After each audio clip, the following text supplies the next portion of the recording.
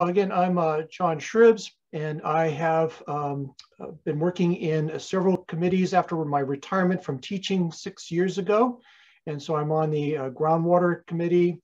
I am uh, President of Petaluma Wetlands Alliance, and um, I'm also chair of, uh, um, of, the Tree Advisory Committee for the city, and also one of the leaders in the ReLeaf uh, Petaluma, which is pl just planted trees out here.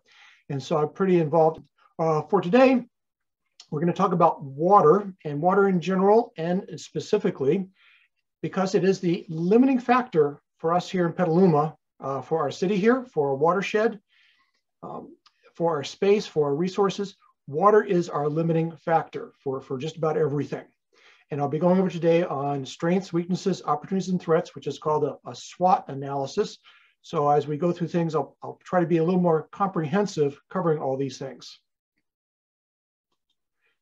Now, just as a reminder, I think we all uh, got taught the water cycle back in, in grade school, but just as a reminder, it's all about the sun energy coming in. And the sun energy, as it comes in, heats up the water of the ocean, especially the surface, which causes evaporation, and water goes up in the atmosphere, and then it moves. And then with the global uh, turning of the globe, um, it sets up a pattern where all everything moves around the world and the water moves around the world in various ways in a very thin layer of only five miles high. And then it deposits, uh, precipitates down um, in various ways onto the land.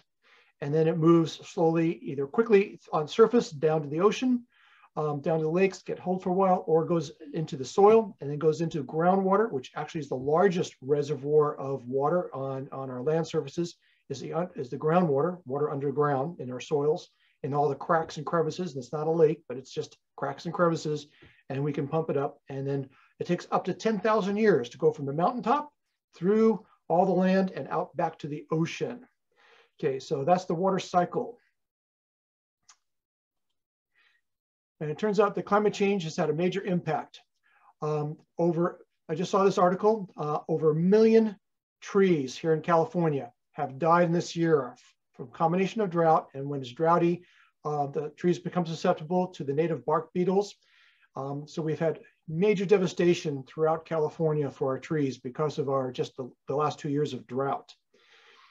Okay, so that has to be dealt with, and that can increase fires. And also, an article in paper today talked about um, the ashes and the carbon that's falling off the trees onto the snow in this year is causing faster melting, which just complicates how water is arriving here and how it flows and potential flooding that might happen from a quick quicker melt up in the hills.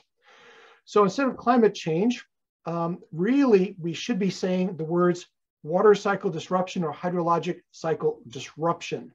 And that's the real problem, not just that the climate is changing. Like, gee, so what the climate, eh, it gets a little warmer, eh, who cares? But it's actually disruption to the water cycle that is the major impact that's going to be happening to us and it's already happening here right now here in California. Okay, the take-home concepts for today. Uh, we live in a watershed that's, that's very independent. Uh, we're the only major city within this watershed and it's pretty confined. So locally we can work with it and deal with it ourselves, uh, but we also have to think globally. Issues around climate change, our water supply is being affected. We've had loss of wetlands uh, due to human activities. We're getting flooding now because of combinations of increasing rainstorms, uh, harder rainstorms, um, more water in less time. We also have longer droughts than we did before. We're losing biodiversity uh, within the populations because we're losing a lot of our vegetation and our habitats. We have population growth in our, especially moving toward our cities, and the cities have been growing tremendously over the last hundred years. Uh, used to be 90% of the population was on the farms uh, growing the food. And now we have 90% of the population in the cities. And, and uh, um, so that, that's been a major change as well as just total growth. There's also a shift. Our economy is considered number one. So money matters to everybody. And anything goes wrong now, says, and, and our whole way we deal with our economy is shifting us toward tragedy of the commons. And so that's another issue that we need to deal with which is all tied together. Social justice issues around water, who's got the water, where does it go, um, who's in the flood zones, and, and there's a huge amount of social just, justice issues involved. And they're all interrelated, all these things interacting with each other.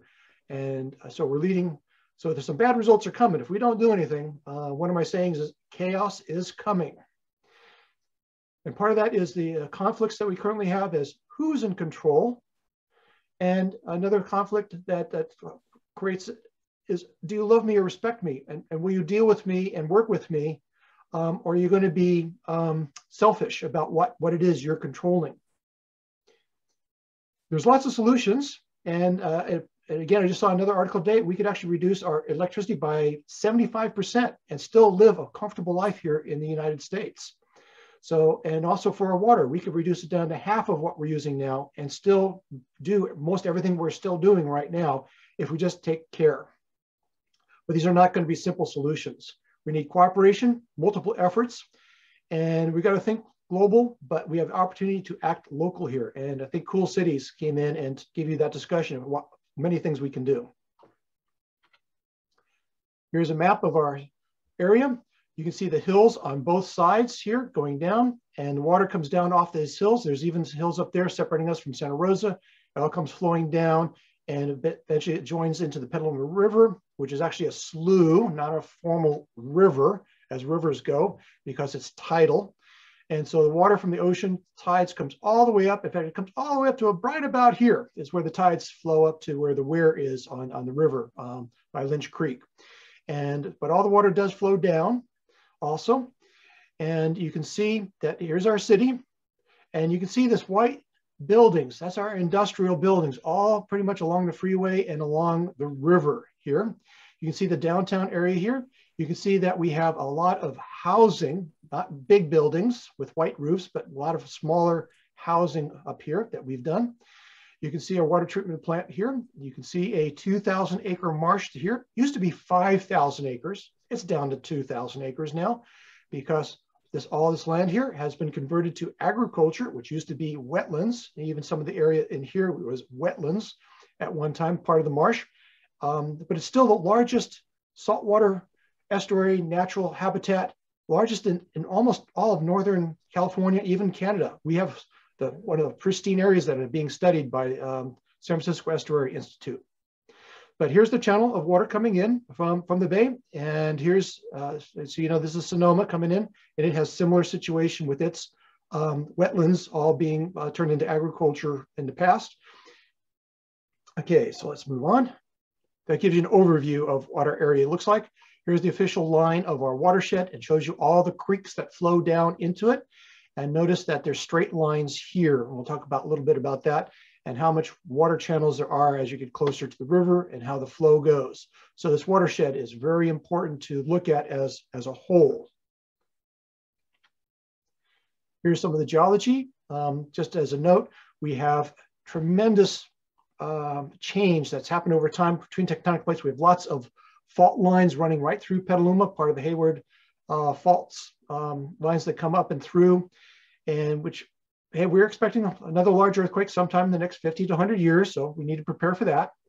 Uh, but the rocks are underneath the ground are all, you can see these, these seams of rock layers that have been uh, uplifted and moved around. And so we have various layers, but they're pretty much grouped. We have three large groups of, of rocks that are quite different from each other uh, underground. And it shows you that the soils that we have here, this is all diversity of soils. So we have a very, we have a mishmash of geology and soils in our area.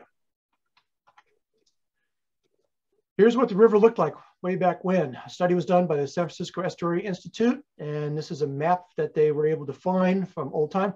And look at all these loops that the river had at one time.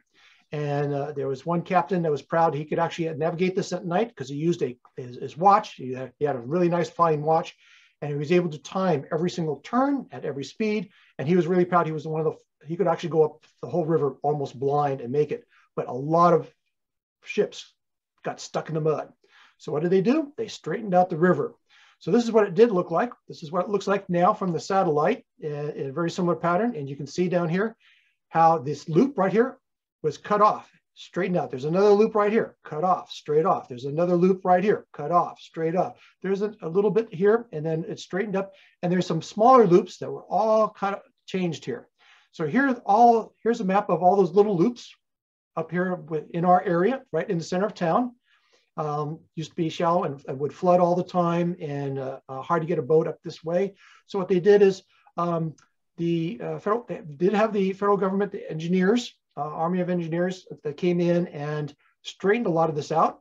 And then also we had some Chinese labor left over from the railroads. They came in and dug out this extra channel on McNear and filled it up so with more boats and more docks could be made there. Uh, made us the richest town in the US for about 10 years back in the 1800s. Um, and this is an overlay of the two showing the change. So here's the old river is very fat at the beginning and it's very narrow now. It's all been diked and channelized all the way up with agriculture being put pretty much on both sides and then uh, straightened up. So it's very faster moving than it used to be. And so that changes the way things, water hydrology moves. And so modeling has to be done based on the new river versus the old river. Okay, here's uh, maps of uh, wetlands. Here's original wetlands. All this green area in here was a wetland. Notice the creeks did not go to the river. This was a delta, which actually came down, would flood, and the creeks would all, all flow in here, and all the sediment would flow in here, not into our river. These are all the wetlands that have been removed by humans over the last 100 years, particularly in the last 50. And in the early 100 years ago, 150 years ago, um, a lot of agriculture came in and all these lands were, were diked and turned into agriculture down here, including this land right there. Um, so we've removed over half of our wetlands here. We've paved over paradise. And people don't realize that. This entire east side of Petaluma was an entire wetlands. That's why it was developed late after the 1970s. The town was all over here. And after 1970, developers came in, hey, let's take all these creeks, let's channelize them, make a straight line all the way to the river and and pave over everything. So that's causing us problems. Um, groundwater. Uh, I'm on the groundwater sustainability advisory um, for our basin, and we have one of the best basins and water supplies for groundwater. You, uh, you see the colors up here, more density of wells up here where it's yellow, and shows you that, there's a different geology up here, which is a lot of agriculture is still up here using these wells. Um, so that's all a good thing. And we're in pretty good shape overall. And this is the official legal boundaries of the basin that's set by the uh, state of California. And now we're going through this whole process of regulating groundwater and we're going to be charging fees on groundwater to make sure that we model it, we, we watch it, we monitor it. We're, we're digging wells and monitoring more, um, looking at all sorts of ways, looking at groundwater and combining that with looking at water movement, flooding, and the city is, is really on top of it now, trying to figure out what are we going to do in our basin to manage water, both from a groundwater point of view, from a flooding point of view, uh, managing fresh water, where are we going to get it, how much development can we do. Uh, these are all very intense discussions going on within the general plan, um, discussions that are going on now for a 20 year future. This just shows you, this map over here shows you some creeks that are coming in. Lots and lots of water is being moved in our watershed around and particularly up here. There's a lot of creeks that come down here to the north end and right up here, this is where the major flooding is happening right around the Petaluma Creek. And it really should not be called a river, it should be called a slough, but we changed it so that they, we could have some dredging go on by the federal government. But they just told us, hey, we've done it for the last time. We now have to dredge and pay for it ourselves because um, the federal government is not going to pay for it anymore. And we're talking about five to $10 million every time we dredge uh, every four to 10 years. So that's another thing we're gonna have to deal with over time in the next 20 years is, is do we dredge? How much do we dredge? How often? And who's gonna pay for it? How are we going to pay for it? Okay, this another uh, thing that with water is wildlife. Wildlife needs water. So wildlife follows water. So here's the major, here's these blue lines are a major slough river plus all our creeks. We have um, uh, Adobe Creek here. We also have a little bit of Washington Creek, a little bit in here. And then uh, Lynch Creek is a major one and Lichau Creek up north. And this goes up uh, up in the hills, other areas in the whole, continuing the um, Petaluma Creek and its tributaries that are all coming down. So these are all traversed by wildlife, fox, deer. We've even had a bear once coming up Washington Creek that people saw a few years back. Uh, we have deer coming up and down. I know at uh, St. James Gardens, which is right here, I've seen deer in there all the time, come in and, and munch our vegetables. Uh, we have deer at Shollenberger Park. I've seen them come in and down in here. We have badgers that have come in and around here. We have red-legged frog that comes in here that, that moves in. So that deals with that landscape down in here. Um, we've seen deer tracks across the river. And so there's a lot of movement. And so water, vegetation, habitat movement, it's all tied together. And we need to look at the whole picture and everything together as we look toward the future. So main ideas. Uh, Petaluma City is a, we have a small urban environment compared to like LA or San Fernando Valley where uh, I grew up in LA area. And, but we're inside a pretty nice, very large, robust watershed. We need to take care of it. Water is a limiting factor. It affects everything, our food, our shelter, our safety, our community. Uh, climate change with water cycle disruption, and we're connect our groundwater, surface waters, our wetlands, and sea level rise are all connected and interacting with each other. And we're all trying to study this right now, get a grip on it, see what we're going to do about it. Solutions are many. Nature-based solutions are uh, more expensive up front, but longer term are more economic and more efficient, more resilient, more sustainable long term. So we'll see a couple of those. And there's things we can do ourselves, removing lawns, planting native species, building habitats, corridors, changing the way we do diking in the marshlands, water catchment systems along our creeks, um, and, and wherever we put a house near, near a creek, everything, putting in, uh, uh, slow the water down, catch it, slow it down, using um, catchment basins and rain, um, rain ponds and rain landscaping, or the like. Uh, doing water conservation, we can do a lot better than what we're doing now. We did save about over 20% last year. Um, we can do better than, than 20%. This gives you an idea of the water being used. Up here, look at the total down here. 45,000 acre feet of water is being used just by mostly cities. Santa Rosa's biggest is 17,000. Petaluma, second largest at uh, close to 8,000 acre feet of water per year. Look at this number. I want you to remember this number, 46,000 acre feet per year used mostly by people, a little bit of irrigation, but mostly by the people uh, with access to the Russian River water because that matters. And when you're looking at the total uh, Lake Sonoma, oh, it rains 23 inches. Of a sudden, no, we're not saved by 23 inches of rain this year. We're still lower than we've ever been before in the last 10, 15 years in our water supply right now, even with all the rain that we've just had. So um, notice this graph, this is at the beginning, October, the rainy season. Water comes in, rain comes in, uh, usually much more in the past. This year, not as much because the water soaked into the ground, went into groundwater, not into the surface water, into the reservoir. And so groundwater moves a lot slower uh, through the ground to fill up the, the reservoir. So we haven't had that much fill up this, this year and we're declining. And look at the rate of decline. It's pretty similar out here, rate of decline. So uh, in prior years, let's say, uh, let's take this line right here, this last year line right in here. We started right here at about uh, 180,000 acre feet, and we ended up with about 110 um, acre feet. So that's, we dropped 70,000 acre feet in one year, even with the little bit of rain, 10 inches of rain that we had last year. So you look at that, what we're doing now, and, the starting point is lower. We're going to head on down here. We're going to be down right about here when we're done by the end of the summer. Um, and gee, we need 45,000 acre feet for people. And people are not the biggest users. The fish actually are legally allowed and are given more water than people right now. And they did reduce the water down. Uh, they cut that like 50% last year um, uh, because of concerns for saving water. So good thing they did that last year because this year we're going to need the water. Um, so they've reduced the water for the fish uh, tremendously last year, and we'll probably do that again. But, uh, but normally, we would normally give the fish more water than we do. And then there's a little bit of agricultural use that we also have here that our river goes to, besides ground, mostly it's go to groundwater is used in agriculture, but some of our river water is used. So, but our urban areas, that means we only have one and a half years of water in our reservoir that feeds everybody.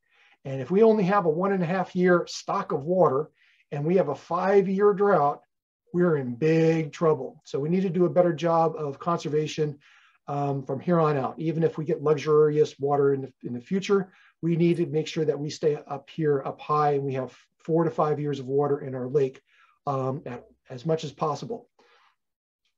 So I think they are talking about how to increase the reservoirs um, and maybe even possibly adding more small reservoirs around, um, but we have to worry about the fish also. So these are all complex, complex issues. But we're in trouble this year. We are in trouble. Please conserve water now. Okay, we have some positive things. Uh, we do have a historic downtown. We have we have a, a more degrees here in Petaluma than any other town in Sonoma County uh, because we are uh, basically a commuter town that goes down to the San Francisco and other areas. But we're also very progressive and forward thinking, and that's what's happening right now in the GPAC. We have a very green agenda in the General Plan Advisory Committee, moving things forward tremendously in that direction. The, the, city staff is very is dwindled down, but is very very dedicated. They do more than 40 hours a week, every single one of them, and I've seen them just work really hard and do the best they can for us. And they're all dedicated. Everyone I've talked to and worked with. Um, we have lots of programs here. Uh, we do have a stable economic base. We work, we have a telecom valley here. Uh, was bigger, it's a little smaller, but it's growing still. We're close to San Francisco. We have good economics here uh, just to keep our city strong. We do have an urban boundary. Back in the 70s, we, we actually won a Supreme Court case to keep our urban growth boundary. And we have managed growth systems in place, and we want to even do a better job of, of managing our growth um, from this point forward. So yeah, the city's very aware of this, and the general plan right now is saying, yeah, we do need to do a better job management. We have a unique watershed. It's independent, and we need to work with the county. The county controls most of the watershed, but uh, uh, we need to work with county on it.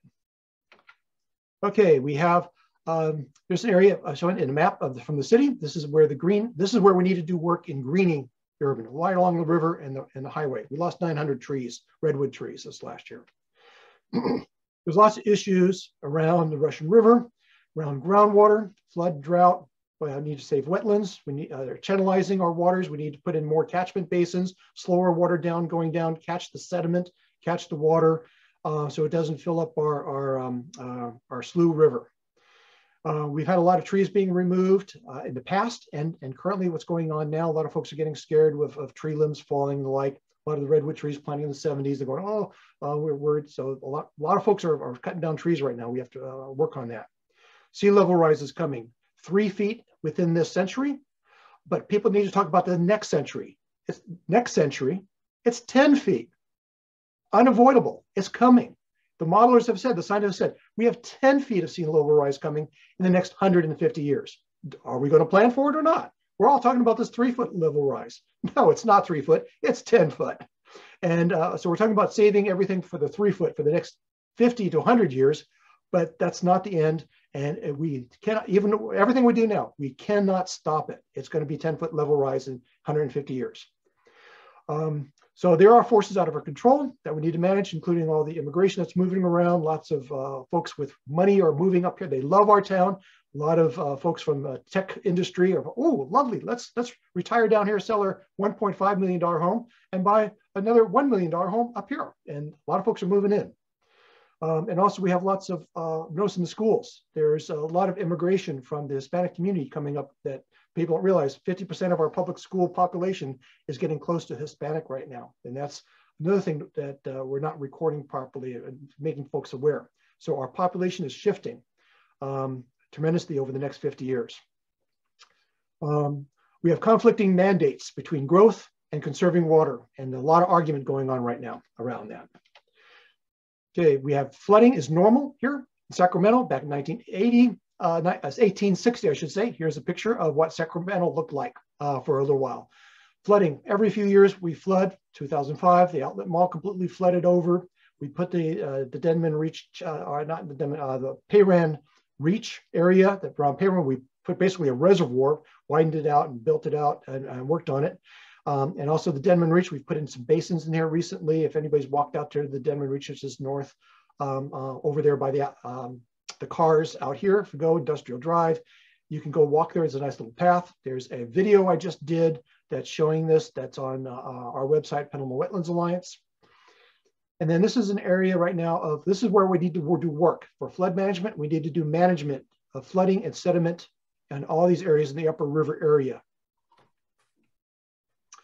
Here's the past, just uh, 18,000 years ago, this was all land. And this was just tiny little river up here. These were rivers and valleys. And this was all land all the way, way out to the Farallones, 18,000.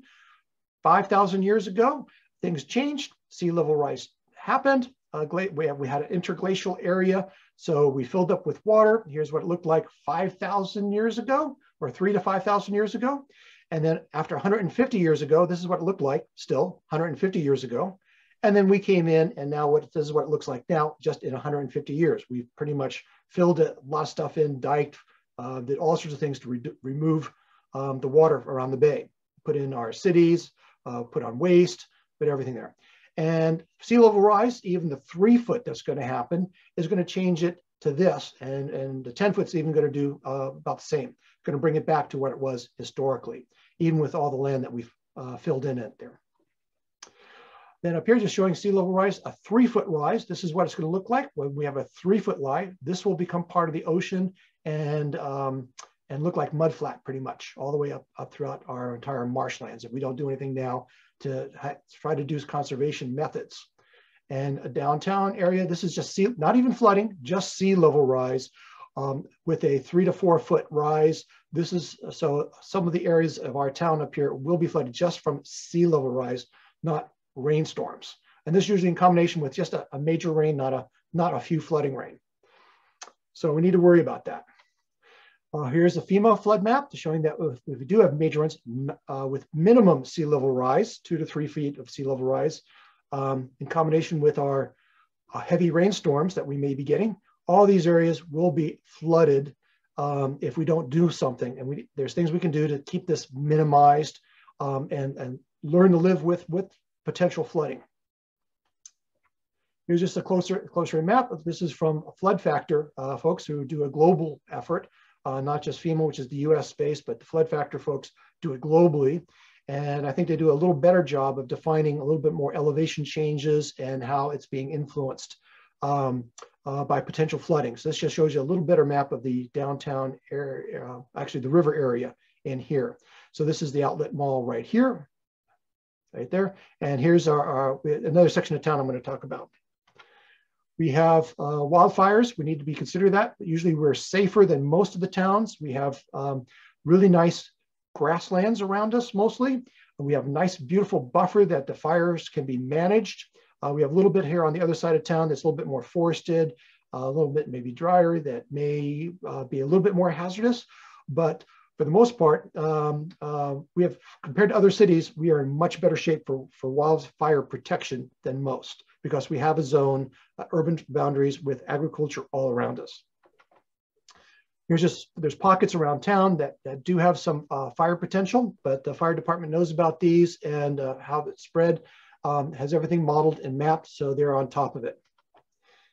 We have traditional solutions that have been used. Uh, the water agency is, is planning ahead. Um, we have um, the leader of the water agency now came out of uh, Save the Bay.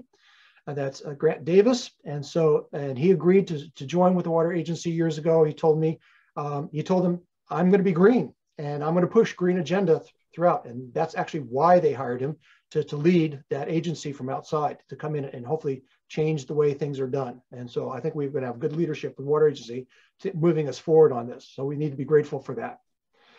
The um, Groundwater Sustainable uh, Agency is, is working on it. They're looking at a 50-year plan, which we're working on, which I'm part of right now. GPAC is going forward with 20-year plan. The county is also changing the way it's talking about water and wildlife and oak trees and um, how to manage everything. So things are, we're in transition. It's great. We have SF Bay. Um, the entire Bay Area just a new regional um, community has joined together, formed a new organization that's looking at the entire Bay. Everybody's going to sign in to have a whole Bay Area master plan is in development right now. So good things are happening. Um, recycled water desalination, can we get it? It's extremely expensive, very high energy use. We don't want to go there if we don't have to, but if a couple folks have gone there uh, down in San Diego and other places, uh, Monterey, uh, they need it there, but it's a very, very expensive if we got to go that, that way. And it's, it's a last resort if we need to. We need to work on smart growth now, city boundaries and like, that's all being worked on, and then flood channels. Okay, this is the whole Bay Area. Lots of work is being planned throughout the entire Bay Area to true conservation work to protect us against the sea level rise. So we're working on it. These are all the different things that are going on here, pictures. Down here, we have had dredging. Um, $10 million last time. If we do it on a five-year basis, it's four to $5 million every four to five years, or $10 million every uh, 15 to 20 years. Um, this is what dredging does. This is what the Shollenberger looked like filled with water uh, from a drone uh, airplane shot.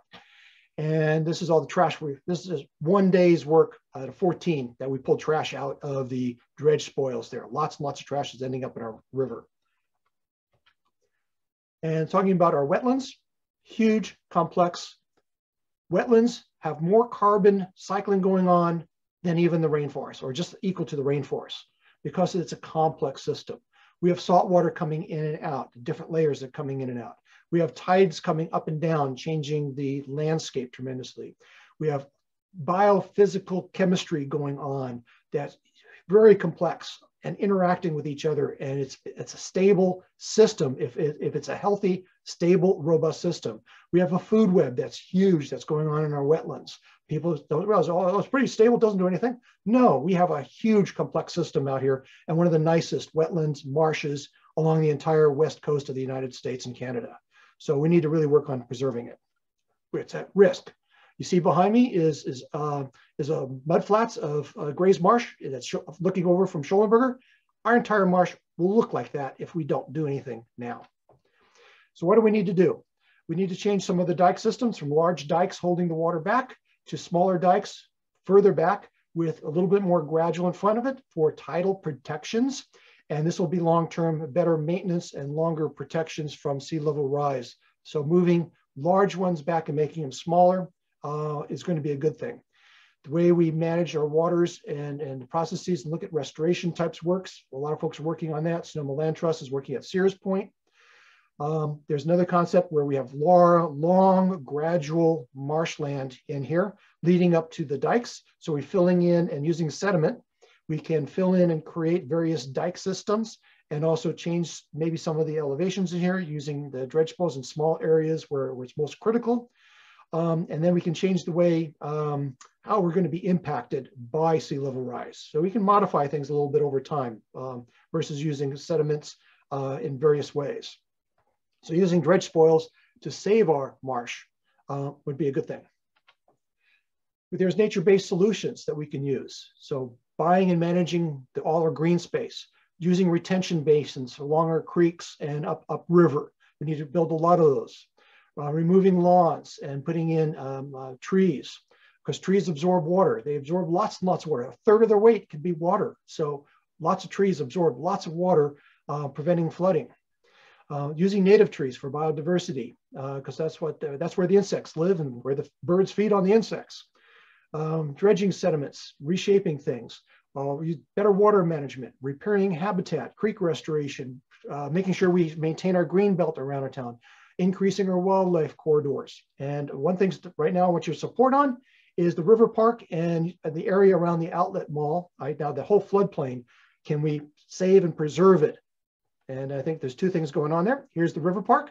I fully support the folks that have bought this land are going to, and on a, we're going to go slow. They perfectly going to plan go community, create a beautiful park area for us, ecologically based, uh, with some uh, art sculptures in place also, combination of wildlife and people interacting together.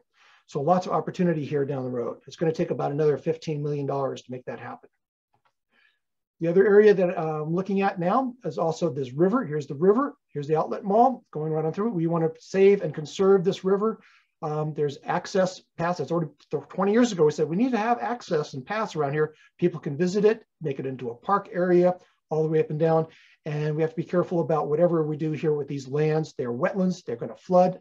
This whole area in here floods. So we need to manage that and change the way we have that right now. Right now it's supposed to be all developed, 100% developed is, is that's what's on the books. We need to change that and hopefully we will. Okay, there's areas. Uh, these are what these are plans that have already been put together. The San Francisco Estuary Institute said, "Hey, this is what we can do. Here's a map of all the, the areas we can uh, prevent sediment from coming down, do some flood management up in the river, change some of the way we deal with our wetlands, buy the land, turn it into wetlands. So change the agriculture back into wetlands or move the dikes back somehow, but re, reinstate the original river as much as possible and, and, and manage our lands here. all possible to do that. Going to take a lot of effort, a lot of money. Um, I'm also working with ReLeaf, um, and then we're planting as many native trees as we can all over town, starting with all the gray water, uh, or I should say purple pipe water in all the parks. We just did 150 trees at Wiseman. We have grant for another two more parks, and we've been asked to uh, reapply for more money because they have a little bit of money in California ReLeaf to give us. So we've reapplied for another grant. And so maybe we can do four or five parks now on where, wherever we can put the purple pipe water, which is recycled water. Um, water conservation at home. Uh, I did that last year and uh, I was able to get it down to 550 cubic feet within a month, which is under the standard that's set for Healdsburg. Healdsburg said 75 gallons per person per day. They actually had that limit last year. Two people talked to me. I, I um, they said oh, they're extremely proud. They got down to 25 gallons per day per person in their household with the two of them in their house uh, is what they were doing. And they said they did the extremes but they got it down that far to demonstrate it could be done. And this is 600 cubic feet. So look at your water bill. Look at your cubic feet. You need to get down to, to 600 cubic feet um, per month on average, and, um, and even less in the wintertime, uh, maybe a little bit more in the summertime, but we need to average less than 600 cubic feet per month usage. Water is very cheap. Four cents per gallon is all you pay for your water here uh, directly uh, for fresh water coming out of your tap. So they've made water as cheap as possible so that everybody has easy access, affordable water as a resource. That was established long, long ago throughout the entire United States. They said, we are going to have cheap water as much as possible uh, for everybody and basically free. And, and so that way, if it's free, gee, why conserve it? It's free, ah, no cost to me. Happy about the cost. I put in a, a, a I put in a rain catchment system, 500 gallons, cost me $800. So I'm never going to recoup that money, but I will have water, 500 gallons to help me through on, on, uh, uh, in my garden. And that's also for earthquakes. So if earthquake happens, I'm going to have 300 gallons of water waiting for me um, to use if an earthquake happens and water's cut off. Okay, so we need to do a better job of conservation. And we need to save water at home. Lots of things we can do. There's an instrument called the Flume 2 you can buy over at uh, um, either online or at Friedman's. I think has got it. And it's a little instrument. You put it on your water meter and you can check out and, and look for your leaks. You can actually, it'll tell you a little bit where your leaks might be happening, when they're happening, how they're happening, and you can invest. I had someone do that and they cut their water in half. They actually cut, cut the water all the way in half just by applying this $200 instrument, and that's going to save them $200 per month because they were using so much water in their pool. They were leaking water here and there and realized, oh, we fixed all, and we're going to fix our leaks. Gee. So uh, there's an instrument you can attach to your water meter that works. Um, we have changed the way no car washing, no fountains, no hot tubs, cover your pool, do sweeping, uh, use, I put in low flush toilets. They work really well. In fact, they're better operating than, than my old toilets. They, they flush better. Um, flow flower sheds. I collect water when I, before I shower and we use it in our, our toilets and also in our landscapes. Um, sink water, I filtered water and, and, conserve on that. So it's just directly used just for drinking. Full laundry, uh, two minute showers, cutting a shower off and on. Um, hey, the two minute, um, what's called the marine shower, two minutes is all you really need. Uh, turns out most people on average are taking 20 to 25 to 30 minute showers, especially teenagers on average are taking 25 minute showers. And we need to say, hey guys, uh, uh, cut that out. Get down to two minutes if you can. Um, uh, catching your rain off the roof, slow it, sink it, rain gardens, save water, save trees are important. So if you are going to water anything in landscape, please water your trees, save your trees. They're most important, not your lawn, not your uh, little shrubs. They can be replaced easily. Save your trees. They're also carbon sequesters. And see, and then uh, coming down, um, there's the Cool Cities Challenge gee, uh, you've already heard about that, so I won't go on. You already got a good presentation on that, but they, these things you can join and be together.